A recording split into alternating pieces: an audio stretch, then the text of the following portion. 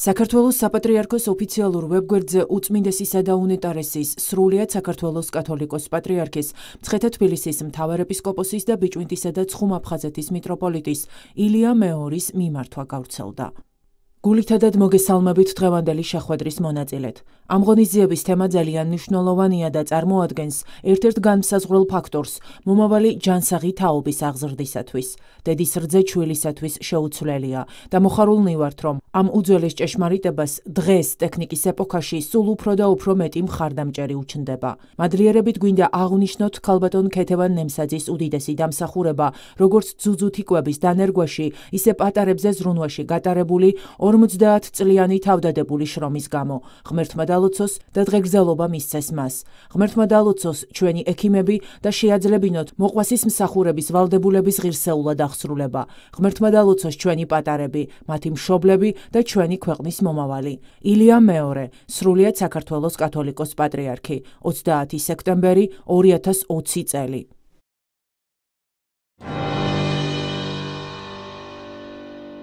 პირველი ნოემბრიდან ახალგაზრდა მთარგმნელთათვის ვახუშტი კოტეტიშვილის სახელობის კონკურსი იწყება.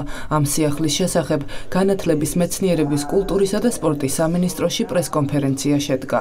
როგორც შეხვედრაზე აღინიშნა, კონკურსი სამ ნომინაციაში ჩატარდება და მასში მონაწილეობის მიღება 20-დან 35 წლამდე ასაკის პირებს შეეძლებათ. ინიციატივა ფონდ დიოგენესა და თბილისის სახელმწიფო უნივერსიტეტის ორგანიზებით. ვახუშტი კოტეტიშვილის 85 წლის საიუბილეო თარიღის ფარგლებში ხორციელდება. კონკურსზე სულ 9 პრემია გაიცემა. გამარჯვებულები კი მიმდინარე წლის 10 დეკემბერს გამოვლინდებიან. ორმაგად სასიხარულოა, რომ სამინისტროს ხელშეწყობით წელს გამართება ვახუშტი კოტეტიშვილის საიუბილეო თარიღისადმი მიძღვნილი ლიტერატურული კონკურსი, რომელიც ძალიან საინტერესოა თავის კონცეფციით და ხელშეუწყობს ახალგაზრდა მთარგმნელების აღმოჩენას, ლიტერატურული პროცესების განვითარებას და ზოგადად მთარგმნელობითი საქმიანობის განვითარებას. ვახუშტი კოტეტიშვილის სახელობის კონკურსი წელს უკვე მე-6-ე ტარდება საქართველოში. პირველად 2010 წელს ჩატარდა გარკვეული ცვლილებები ცვლილებები განიცადა წლების განმავლობაში ამ კონკურსის ფორმატმა და წელს ვფიქრობ რომ ოპტიმალურად დაალაგდა სამი ნომინაცია იქნება ახალგაზრდა მთარგმნელებისთვის. არის განკუთვნილი 35 წლამდე ასაკის ნებისმიერი მსურველისთვის. ნებისმიერი ენიდან შეიძლება რომ იყოს ნათარგმნი ეს მასალა. ოღონდ რასაკვირველია ორიგინალის ენიდან ეს მნიშვნელოვანია. კონკურსი წარიმართება ელექტრონულად მთლიანად.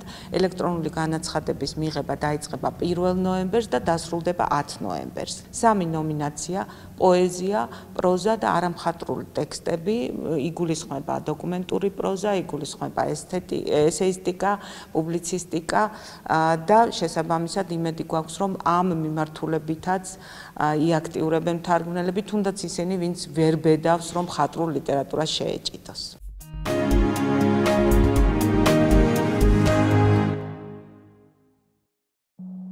პლანეტის 723 სახეობის მცენარე გადაშენების საფრთხის წინაშე დგას. აღნიშნულ ინფორმაციას BBC სპეციალისტების საერთაშორისო ჯგუფის კვლევაზე დაყრდნობით ავრცელებს. მეცნიერებმა დაადგინეს, რომ წამლების დასამზადებლად ჭარბი რაოდენობით მცენარეების გამოყენებამ მათი 2/5-ის გადაშენება შეიძლება გამოიწვიოს. კვლევა 42 ქვეყნის 200-ზე მეტმა სპეციალისტმა ჩაატარა. სახეობები იმაზე სწრაფად ქრება, ვიდრე ჩვენ მათ აღმოჩენასა და სახელის დარქმევას ვასწრებთ. ბევრმა მათგანში კი შესაძლოა მნიშვნელოვანი მინიშნება არსებობდეს მედიცინის ყველაზე აქტუალური გამოწვევების დასამარცხებლად, ნათქვამია მეცნიერების მოხსენებაში.